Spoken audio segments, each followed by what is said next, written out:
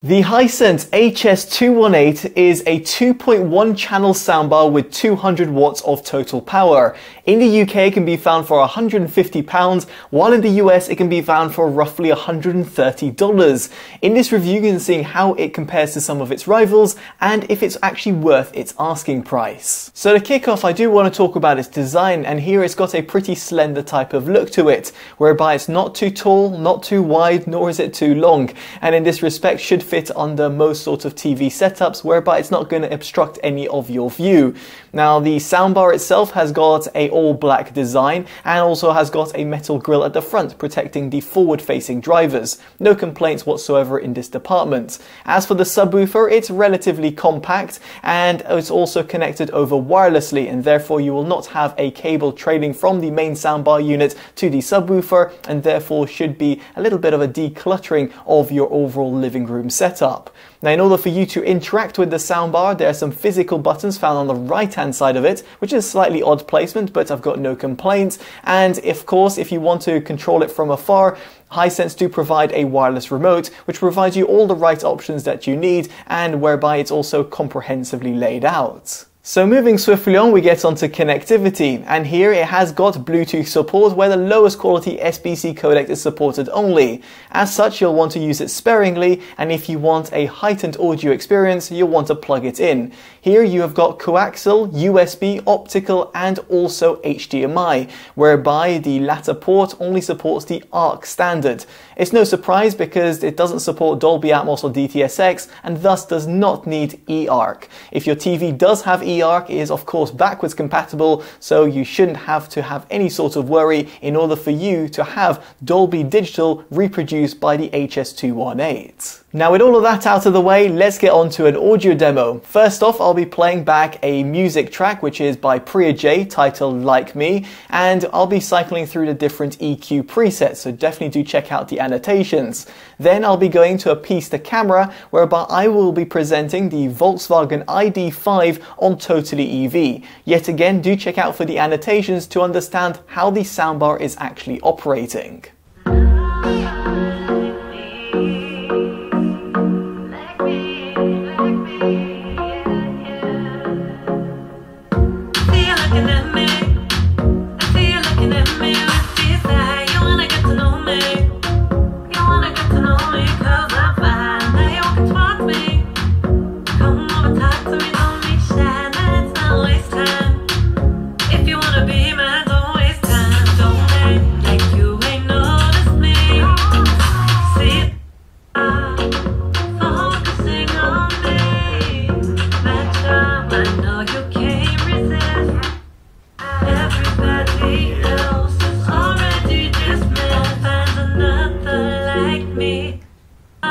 like me.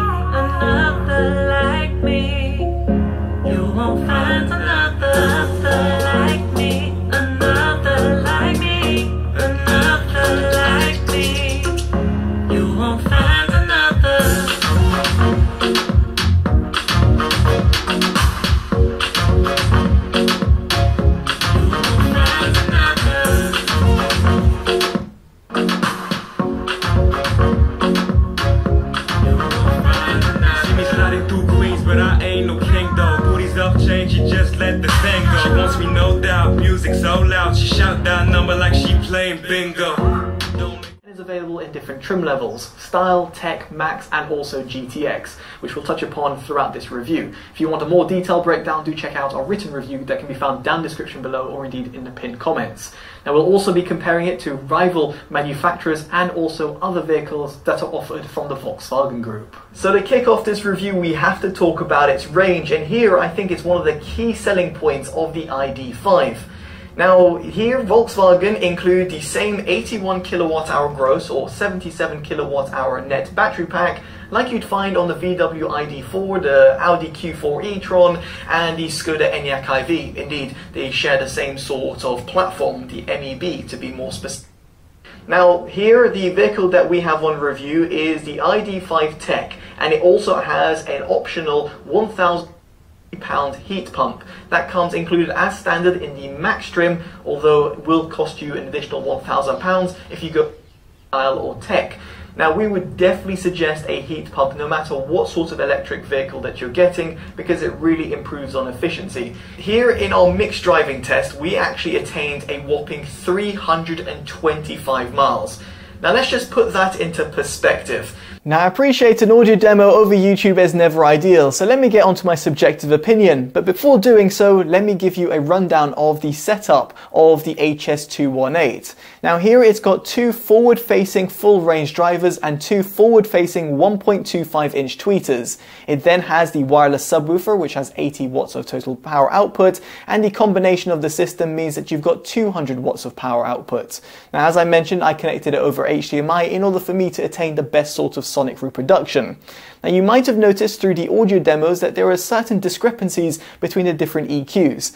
Now I should explain here over here is that if you were to enable the surround EQ, it effectively disables any of the other EQs. In other words, you can't use the music, movie, or the news preset, and also let's say your custom EQ whereby you let's say adjust the bass by a couple of notches and the treble by a couple of notches, it means that it's completely redundant. In other words, the surround EQ is a complete bypass bypass over the other presets that you have. I think this is somewhat of an oversight from the manufacturer because here if I were to run the surround mode EQ, I would have wished that I could have just toned down the treble a little bit more. And I'll touch upon why further down. Now with that in mind, let me break it down in terms of the frequency range. First off, in terms of the sub-bass tones, I felt that they did okay. Yes, they won't compete with more premium systems out there on the market, and of course here in comparison to some of its rivals, such as the likes of the Creative Stage V2 2.1, it just delivers a little bit more of that extended oomph in the low end, which will certainly be appreciated when you're watching movies or let's say listening to more challenging tracks from R&B, D&B or EDM sort of music. Now as for the mid bass however, it was really impressive. It was tight, it was controlled, it had loads of quantity and quality and had no complaints whatsoever in this department. Yes, yet again, if you're comparing it to more expensive soundbars, it won't compete, but for a soundbar of its price point, I think it did a very good job.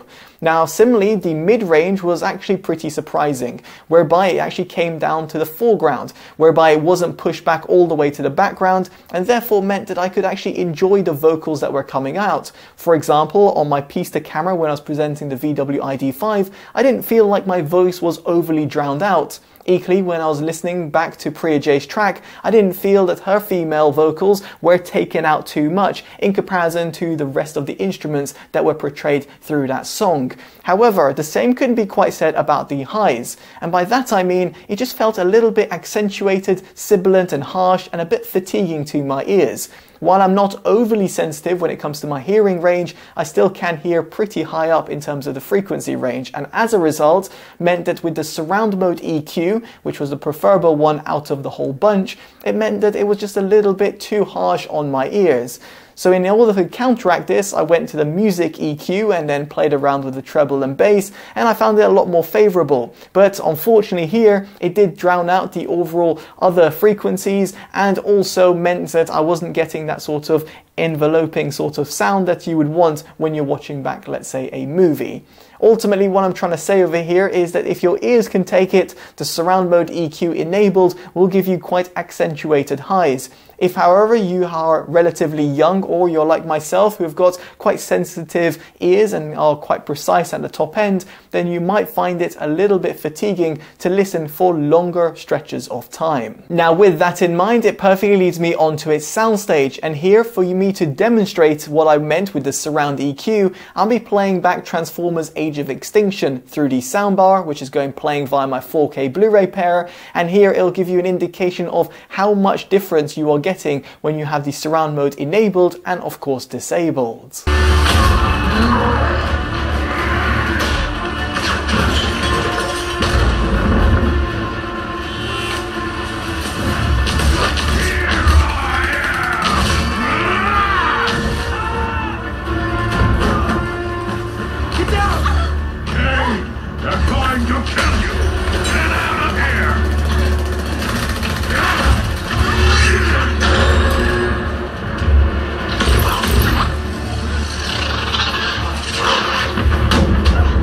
So hopefully you were able to pick out the difference between surround mode enabled and disabled, but just to re-emphasize the point, with surround mode enabled I felt a lot more engaged with the content that I was consuming, but with it disabled I felt that my ears were less fatigued in terms of longer listening sessions, but on the flip side I had a bit more of a unidirectional sound rather than an omnidirectional sound and one that would give you some of the room filling experience. Ultimately, this really does lead me onto my verdict, and the Hisense HS218 is actually a pretty competent all-rounder. It does good across the frequency range, it's got the right sort of inputs that you want, and of course has got that wireless subwoofer, which at this price point is quite a rarity, and therefore makes it stand out in comparison to some of its competitors. If you can stand the high-end sibilance, or of course, if you don't mind a soundbar that sounds a little bit more unidirectional in comparison to some more expensive alternatives out there on the market, then the Hisense HS218 is a pretty good pick. And as a result, it gets my value award. Now I'd be intrigued to hear your thoughts of the soundbar down in the comments section below. And if you've liked this independent detailed review and want to see more, definitely do drop a like, subscribe and hit that bell notification, all of which are greatly appreciated and allows me to continue delivering honest reviews like this one. As such, I've been totally dubbed and I'll hopefully see you in the next one. Take care of yourselves and goodbye.